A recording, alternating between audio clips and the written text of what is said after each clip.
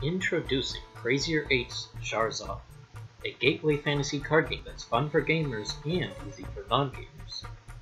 Crazier 8's Shahrzad is inspired by the stories of the 1001 Nights. There will be cards for Queen Shahrzad who told the stories, Prince Ali, who found the Apple of Samarkand, and the Valley of Diamonds, which contain diamonds and giant serpents. Crazier 8's Shahrzad contains 33 unique cards, there are no 8s in the set, instead, there are multicolored cards and split cards.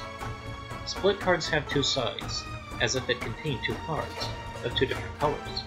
You may discard a split card when either side matches the top card of the discard pile. When you play a split card, you decide which side to play. Crazier 8's Shahrzad is an expandalone. It can be played as a standalone game or as an expansion for Crazier 8's 1001 Nights.